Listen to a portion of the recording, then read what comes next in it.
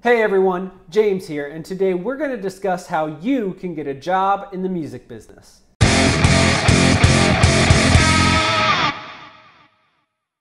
Now, right from the jump, I want to tell you that there is no clear cut path to success in the music business.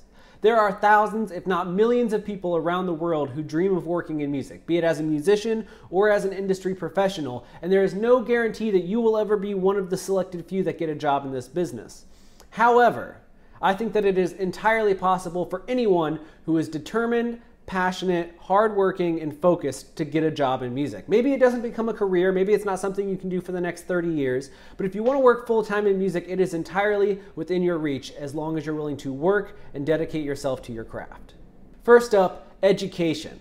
Now, music is kind of a choose your own adventure when it comes to education. Some people choose to go to college. That's what I did. I went to Ferris State University and I studied music industry management. It was a great experience, but it wasn't what I learned in class as much as it was how I spent my time outside of class. College affords you a few years where you don't necessarily have to have a job that gives you 40 hours of work per week. It gives you a lot more free time to chase a passion without necessarily having to make any money.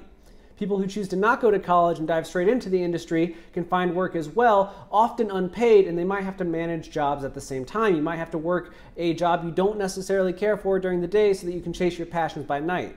Both paths can be successful as long as you commit yourself to your craft. You have to commit yourself to learning how to do something you're not good at and to putting yourself out there. Next up, networking. Now, I've already mentioned networking in this video, but it deserves its own section because it is crucial to the success of any music professional. Networking is basically interacting with your peers, and that means people who are also trying to make their way in this business, but people you want to work for or whose job you wish to have as well.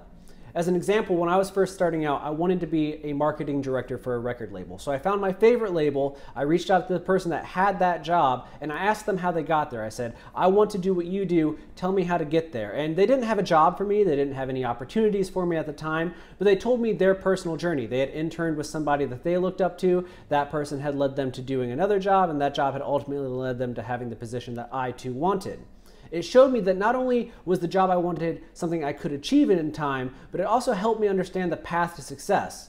Most people don't graduate college, apply for their dream job, and get it. It's a process. You often do a lot of jobs, some unrelated to what you're ultimately passionate about, in order to get to where you want to be. You have to be flexible, you have to be willing to help other people, and the only way to find the opportunities that help you get ahead is through networking, through asking, What can I do? How can I improve myself, or what do you need in order to chase your dreams? If you help other people, they're going to be inclined to help you as well. And that's the key to succeeding in this business. Next, and I cannot stress this enough, you need to try to understand how the industry works as a whole.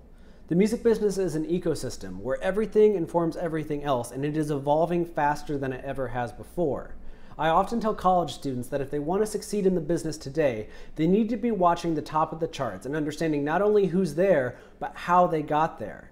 Drake has been the top artist in streaming for the last three years running, but why is that? What is it about his marketing, his image, his branding, his touring efforts? What is it about him that makes him the star that he is, and why are other artists unable to get there? If you want to take a different example, Billie Eilish has probably been the biggest breakout star of 2019, and understanding how a girl who's not even 18 years old yet can top the charts and take the world by storm is incredibly important. Even if you want to work in some dark genre of metal, or if you're a trap artist trying to break out of the hip hop scene, whatever you happen to be trying to do in this business, and whoever you're trying to work with Understanding how those at the top of the business got there and what they're doing to separate themselves from the pack will inform your decisions in doing the same for yourself or the artist that you're trying to work with.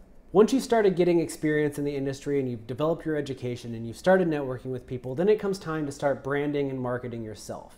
At the end of the day, you are as much a business in this industry as the companies that you want to work for, and making sure that you stand out from the pack will be incredibly important in determining whether or not you get a job and what jobs you get.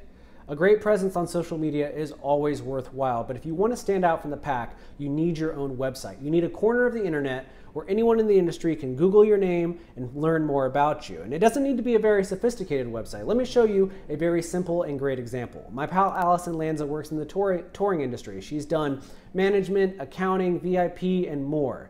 She kind of has one of those jobs that anyone who isn't an artist but wants to live on the road has. And she does that in part through having this great website. It looks just like this. If you can see, she has a link to her resume and a link to her work experience. If you click on work experience, you're going to see some of the places that she's worked. And if you click on resume, you have an easy to read, download, and understand version of her work experience, including contact information. Everything you want to know about Allison is one click away, and that's what you need to do for your own career. Build a website, share your experience, no matter how much or little you have, and get your name out there. Start branding yourself. Tell us who you are and why we should care about you. Finally, learn to accept challenges. You will not always be able to do the thing that you want to do in music, especially when you're first starting out, but there will be opportunities to learn and grow that you need to say yes to. Even if they exist outside the periphery of what you ultimately want to become, as long as it's not going to put you in a complicated position, as long as it's something that you have an interest in, you should say yes. If you can work VIP at an arena show for a day, do it. If you can market a small local band showcase, do it. If you have the ability to take an internship with someone whose career path you'd like to imitate, do it.